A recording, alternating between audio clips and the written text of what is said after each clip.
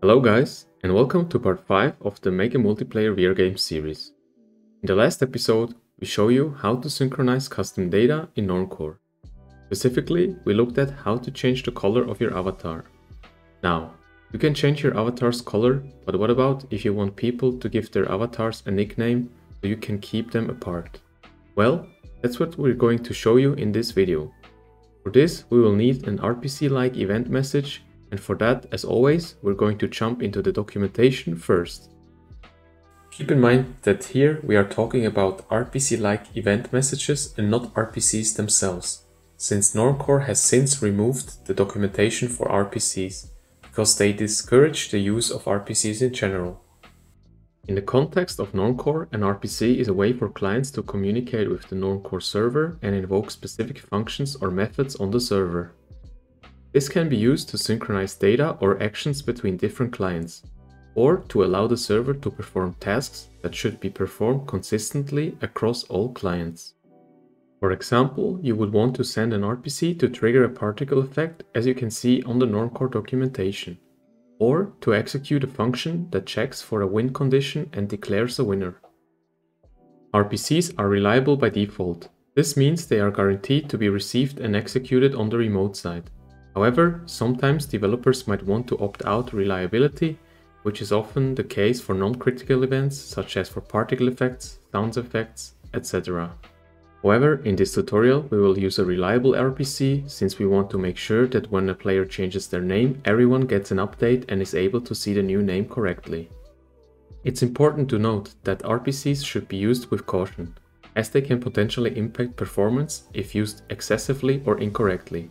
Also, there could be problems with the order or timing of the message, which could introduce bugs that are difficult to debug or reproduce. Therefore, Normcore themselves in general discourages the use of RPCs. Now, enough talking, let's jump over to Unity and create our own RPC-like event message that can be fired by anyone in the room. So firstly, we want to interact with a keyboard and that's why we're going to add uh, raycasts to our hands. So on the left hand and the right hand, we will have a Ray interactor, so we can later interact with the UI of the keyboard. And we are then ready to import our keyboard asset. You can find it in the link below. Just drag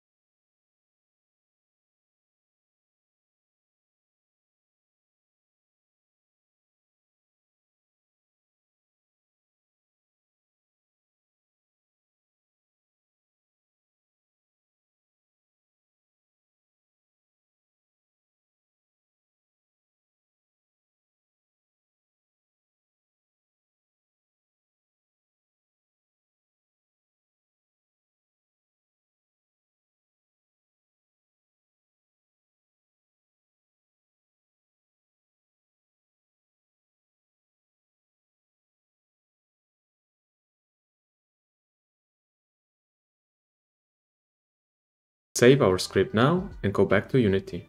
As you know by now, we will now see here compile model. So let's just click on compile model.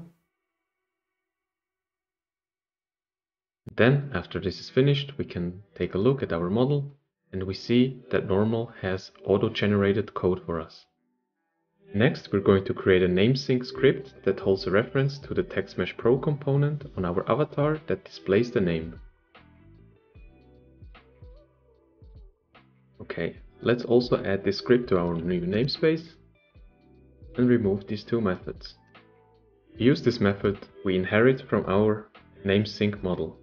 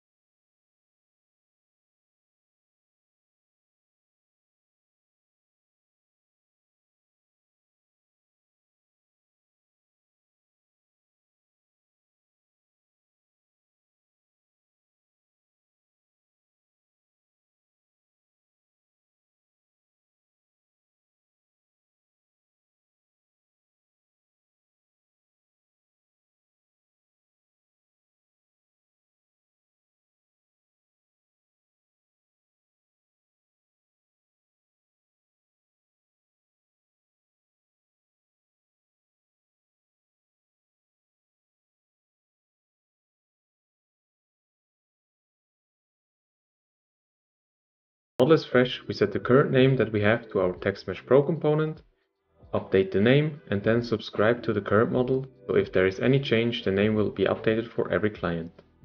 In the name did change method, all we do is call the update name method.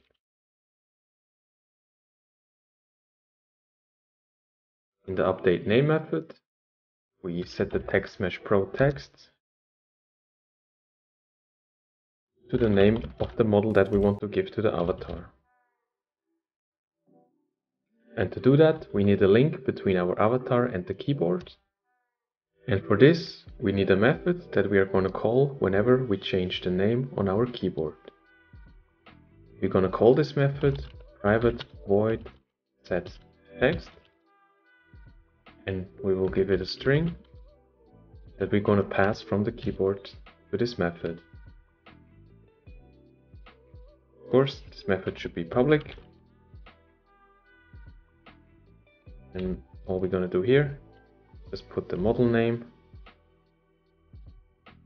to the name that we pass to this method. And that's it. Alright, now that we've written all the code, let's set up our avatar for the text that we show above his head. We look for our avatar prefab, so let's go to realtime plus VR player, click here, and now we can find our VR player prefab. We open that and then somewhere on the head we want to add a 3D object which will be a TextMesh Pro text. Then we will make sure that it fits above its head.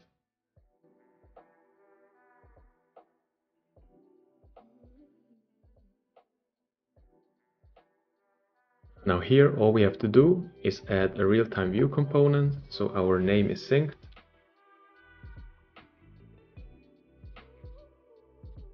And then we want to give it a default name. This name will be shown above our head when we didn't type in our name yet.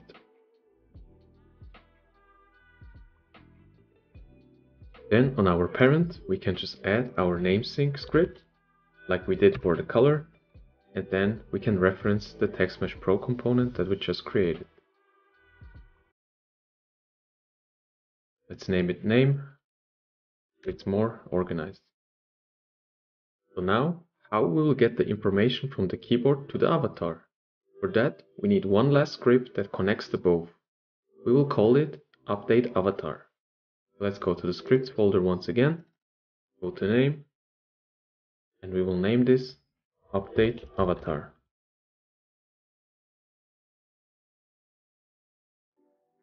This is going to be the link between our avatar and the keyboard, so let's add the script to the Realtime Plus VR player component. As always, let's add this class to our namespace. And now here we need a reference to the real-time avatar manager that we basically have above this script in our Unity. And then we also need a reference to our real-time avatar. Let's add this here.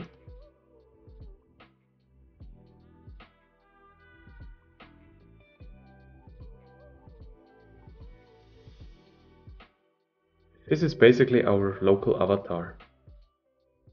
Lastly, we need a variable for the string of the name that we pass from the keyboard. We're gonna call it local player name. So basically we can get the real-time avatar manager directly in the awake method since we know we have it right there in the hierarchy. So let's just type real-time avatar manager equals get component real-time avatar manager. For the real-time avatar, it's not so easy because it doesn't exist in our hierarchy right from the start of the game. It exists as soon as we connect to the server and the avatar is present in our hierarchy. So we have to wait until this avatar is created. To do that, we will subscribe to the avatar created event, which comes from the real-time avatar manager which is why we need to fetch it first. We make an onEnable method. And since we only have one command here, we can also write that in one line, like before. We can now reference the real-time avatar manager dot avatar created. And if the avatar is created, we want to call a new method which is called avatar created. we're going to create this method. And in this method, we basically check if the avatar is the local avatar. Then we want to assign this local avatar to our real-time avatar variable. Now we have a reference to our avatar and we are able to pass information to our avatar. The only thing missing is to give it the name we're gonna create one last method which we're gonna call public void save local player name. And we give it a text. And this method is gonna be called from the enter button on our keyboard.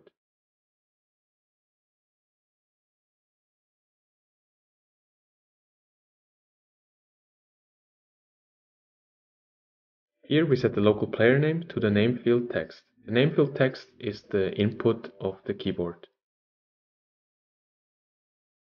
And lastly, we want to pass this name to the avatar. So let's reference our real-time avatar that we fetched before. Then we get a component in its children, which is going to be the name sync. And then we're gonna call from this namesync the set text method that we made public before. And then we're gonna pass the local player name. That's all we have to do in this class. Let's go back to Unity. Now we're almost done guys. All we have to do now is connect this keyboard to our name. Basically, when we press this enter button, we want to send the message to our TextMesh Pro component on our head. So let's go to the keyboard, go down to Content, Keys, and we see the Enter button is in the fourth row. We open that, and we go to the button. We want to add a new event. For that, we're going to drag in the real-time plus VR player component, since we have our update avatar script on this component. We then search for update avatar and we go down to save local player name and here in the text field we can reference the input field of the keyboard. And this is all we have to do. Let's go in and test if we can set our name. Like you can see here, we just entered with a random color according to our last tutorial. And here with our race, we can just interact with our UI and type in our name and as soon as we are finished, we can press on enter and our name is changed. We can also just go back, change our name, press on enter again. Every time we change our name, it will be changed accordingly for every client. Awesome guys, and that's it for this video. In this video, we learned how to create RPC-like events in Normcore and how we can update the player's name with it. In the next video, we are going to show you how to mute your own audio with a similar kind of event. After that, you will have all the basic setup you will need for your VR social multiplayer game. Let us know down in the comments what other Normcore features you would like to see from us. If you enjoy this type of content, please consider subscribing to the channel or leaving us a like. You can find the source code for all the videos on our Patreon, and for questions, feel free to join our Discord channel and we are happy to answer you. Thanks for watching and see you next time.